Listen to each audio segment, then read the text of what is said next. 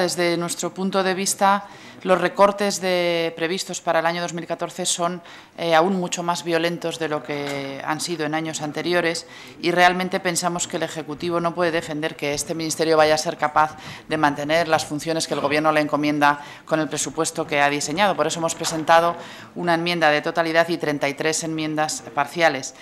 Eh, los asuntos que nos parecen más graves, en primer lugar, es el caso del FOMPRODE, porque todas sus actividades se van a a convertir en cooperación eh, de carácter reembolsable en el 2014 y esto es una aberración desde el punto de vista político y la filosofía que eso encierra respecto a la cooperación al desarrollo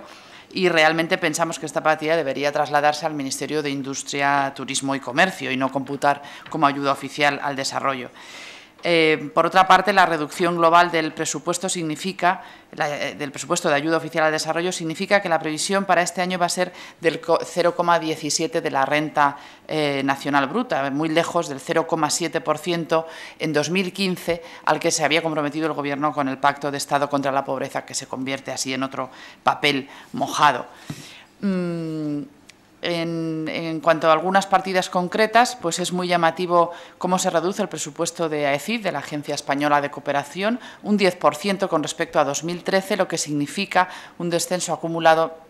de más del 70% desde el año 2011, en apenas tres años. El Fondo del Agua, eh, un fondo básico en la política de cooperación española, prácticamente desaparece y se le dejan 5 millones de euros eh, para que el propio secretario de Estado reconoció hace unos días aquí que era para, para la propia autogestión de ese fondo, con lo cual nos encontramos organismos que ya no son capaces de hacer nada más que sostenerse a sí mismos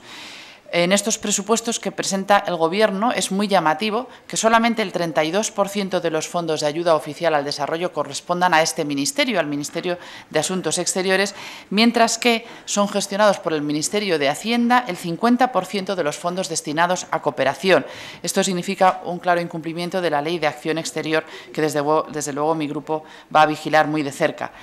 Por último, se demuestra una vez más cómo es falsa esa proclama gubernamental de que estamos ante los presupuestos de la recuperación, cuando en el caso de la cooperación vemos con toda claridad que son los presupuestos de la postración. Y el ejemplo más evidente del, eh, mal gasto y del mal uso del presupuesto que hace este Ministerio es que se dedique una partida para eh, invitar a los distintos embajadores de la ONU a España para persuadirles para que apoyen la candidatura de España al Consejo de Seguridad de la ONU, al mismo tiempo que se está disminuyendo nuestra contribución en muchos otros capítulos y son esos capítulos los que nos darían la fortaleza internacional para poder optar legítimamente y con una eh, posición sólida al Consejo de Seguridad de la ONU. En vez de gastar el dinero en eso, lo gastamos en invitar a los embajadores, supongo que a hoteles de cinco estrellas, para convencerles de las bondades de nuestra candidatura.